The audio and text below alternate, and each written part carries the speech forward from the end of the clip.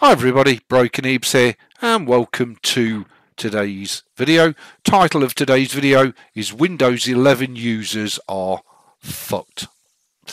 Yep, if you're going to continue to persist in using Windows 11, whether you're a home user or a business user, then you are just inviting an absolute metric arse ton of misery and woe into your computing life.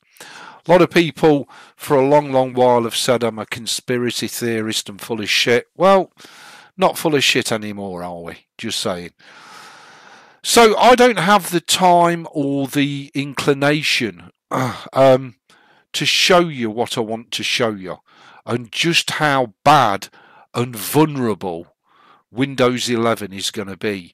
And it's going to be bad enough and vulnerable enough on a personal user's desktop computer. But when you put it into the business world, wow, there's absolutely nothing that Microsoft are not going to know, be it on a personal or a professional basis. They're going to know everything. And I guess this is a bit of an indicator as to why people are dumping Windows and Mac for that reason and flocking to Linux. Let's just hope Linux doesn't go down the same road as Windows. So, as I don't have the time or inclination, because, oh yeah, just in case you didn't know, I run MX Linux and I run Linux Mint. By the way, I'm on Linux Mint. Just in case you didn't know.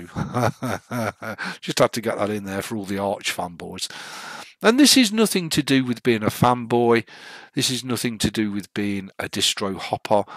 I'm very, very happy with my MX Linux. I love it more than life. I'm also very, very happy with Linux Mint. I think it's a superb distribution and I think it's a great, great choice for anybody wanting to dump Windows. And I hear all the Windows fanboys, oh, it don't do this, it's not that easy, you can't. Bollocks bollocks, utter bollocks. If you want to run Linux Mint on a daily basis, it's a very Windows esque experience. I'm mightily happy you will be. Simple as that. So, back on topic why, why, why are Windows users fucked? Well, I don't really have the time to sit here and demonstrate it. A, because I'm not running Windows in the first place, so I can't demonstrate it and B, because I don't have the will to install and set up Windows in a virtual box. So I'm going to let another superb guy out on the internet called Mental Outlaw hacking Windows Recall to see everything.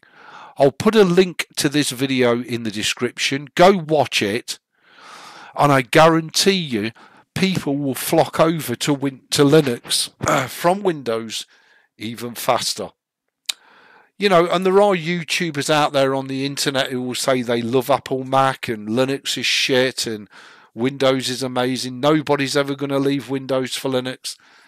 Believe you me, a lot of people are going to dump Windows and come over to Linux.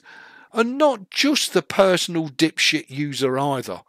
I think a lot of the corporate world are going to move over to Linux on the desktop, especially once they realise that they can successfully free themselves from Office 365 and everything else. There's nothing to stop you running on Linux on the desktop and doing your coding and then accessing Azure in the cloud for, you know, all your programming, your web services. There's nothing to stop you doing that.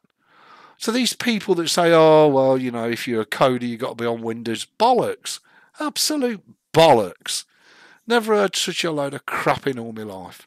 Anyway, go and check this video out sit there, get yourself a cup of coffee or, or your favourite drink, your favourite tipple, and I think at the end of it, if you're still on Windows, you must be a computing fucking suicide jockey. Because this is at a really base level. Just imagine what's going to happen with this shit when the serious hackers get hold of it. Thanks for watching. Please rate, comment, subscribe. Thumb the videos up or down. I will see you for another wicked Broken Ebeez video.